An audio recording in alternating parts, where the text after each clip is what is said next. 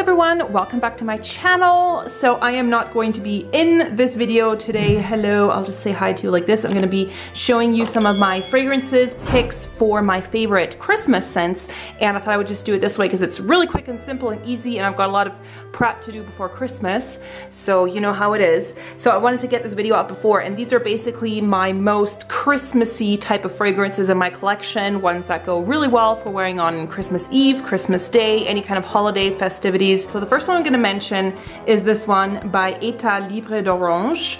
Um, and this is a French uh, niche house, and this is Noël au balcon, just the name alone. Noël au balcon means like Christmas on the balcony or like Father Christmas on the balcony. They often have these kind of funny play on words. The main notes that I get in here are honey. There are a ton of other notes. You also get a little bit of um, pepperiness, some freshness. I feel like there is like a citrus note in here. It's either citrus or apricot. There is bergamot, cinnamon, and peppercorn as the opening. And then the heart notes are rose, lily of the valley, and honey. And the base notes are cedarwood, vanilla, and musk. I got a lot of honey in this. Like the honey is very, very realistic in here. You do get some spiciness from the peppercorns and the cinnamon. Um, so the cinnamon and the peppercorn gives it that spicy note that kind of reminds me just of Christmas time, you know, when you're baking and sometimes you reach for those kinds of spices. You know that um, sort of very fragrant white honey, like the one that's solid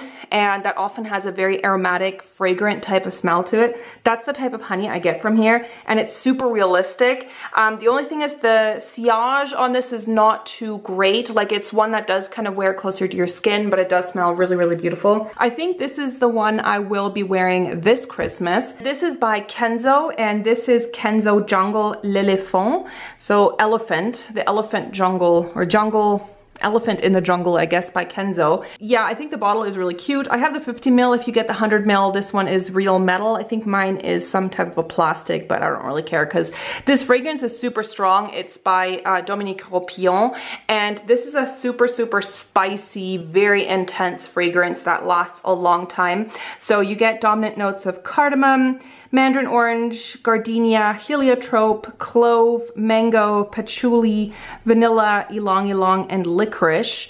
Um, but the main thing that I really get in here is the cardamom, the clove, the vanilla, and a little bit of the mango. Actually, I got quite a bit of mango in here.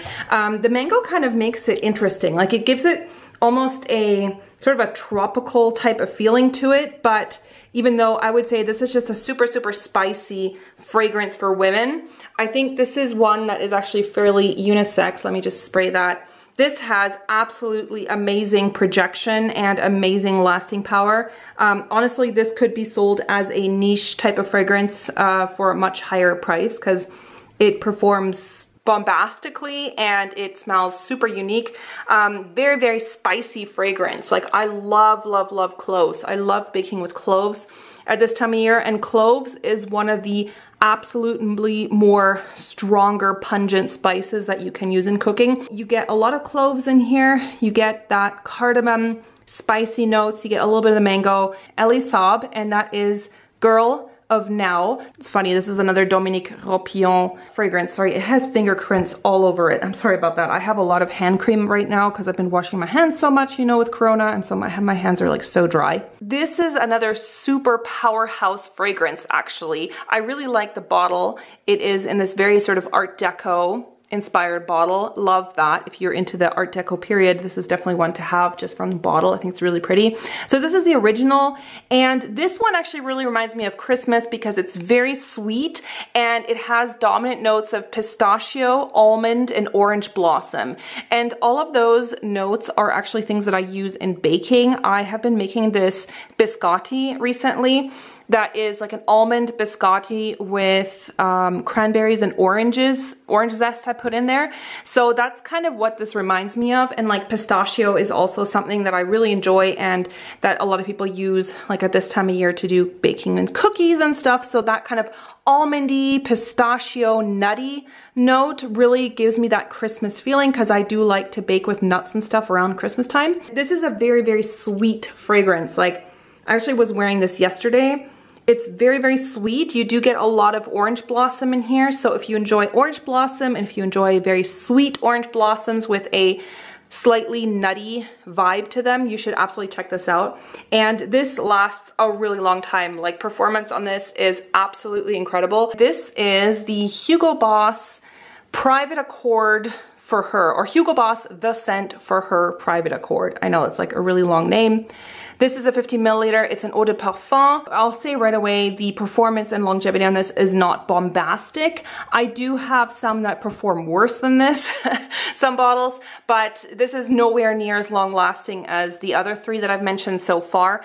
But it is a really, really pretty scent. It is basically a chocolate orange fragrance. So that really reminds me of Christmas time because you guys know that at this time of year you can get, I think it's from Cadbury, I'm not quite sure, but you guys know those chocolate oranges that you can buy at Christmas time where you kind of crack them open. It's not like a deep dark chocolate, it's more like a milky chocolate with a lot of that um, orange in there as well. Oh my God, this is so good. This is like chocolatey, orangey. That citrusy combined with the chocolate is so, so gorgeous. All right, so next up I wanna mention Dior Addict. This is the Eau de Parfum. This is the current formulation that's on the market.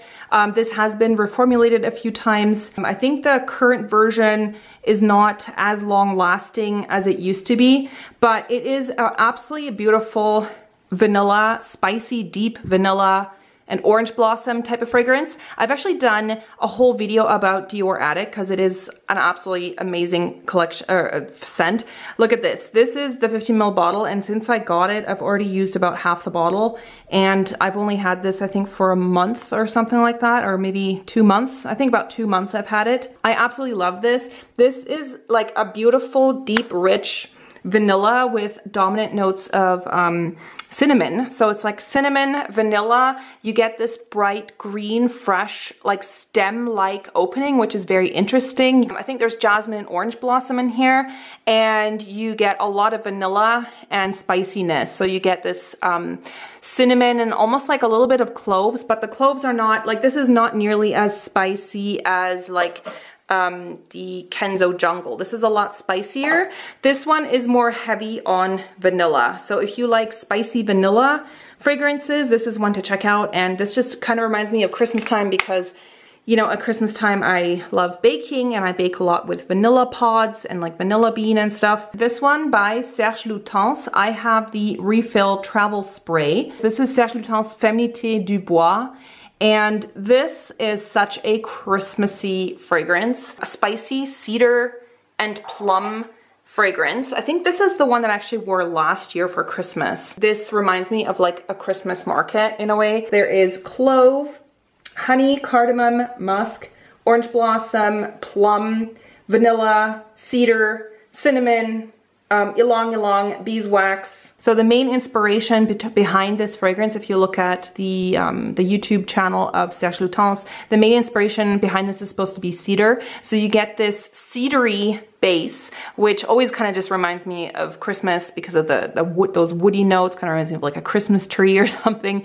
And then you get the plum and you get this spiciness. So the spiciness is the part that kind of reminds me of the mulled wine and the plum gives it that sweet note. So it kind of reminds me of like plum pudding or something like that. The base is that woodsy base. Oh, this is so good. The longevity on this is very good. It projects nicely. It smells like spicy, plummy, almost like mulled wine type of scent, but then there's a lot of cedar in here. So it has that woodsy base, kind of reminds me of like a Christmas tree or a forest, like walking in a forest. Okay, and this is the last one I'm gonna mention in this video, and this is actually a men's fragrance, and I also like to wear this around this time of year. This is a gorgeous tobacco, uh, cedar, spicy, cinnamon and orangey type of fragrance. I know that sounds kind of crazy, but basically it's tobacco and then there are some woodsy notes. There is um, cypress and cedar in there. There are some spices like cumin in here, although the cumin is not too strong, so it doesn't have that sort of animalic cumin note. Then I also get dominant notes of the mandarin orange and the cinnamon. So that's what gives it that spicy, almost Christmassy type of vibe. So the cinnamon is very, very dominant in this and the orange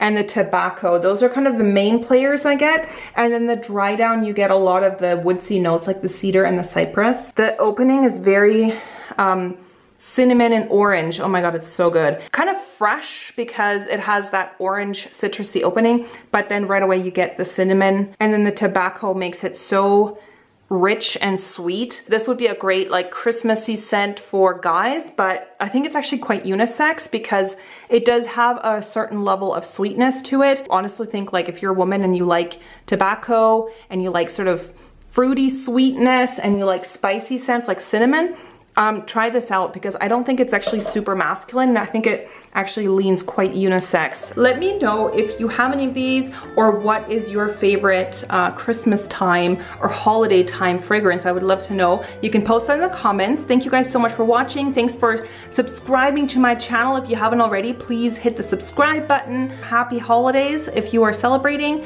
and I will see you guys very soon. Bye.